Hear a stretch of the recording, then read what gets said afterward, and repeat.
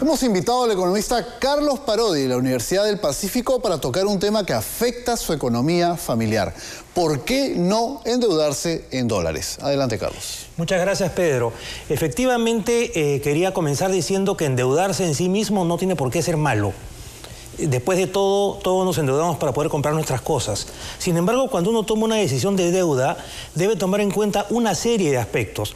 El día de hoy quiero referirme solamente a uno, al problema de en qué moneda endeudarse.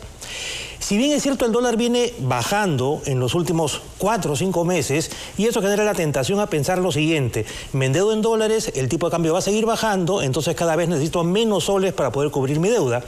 Sin embargo, eso supone que el tipo de cambio siempre va a bajar.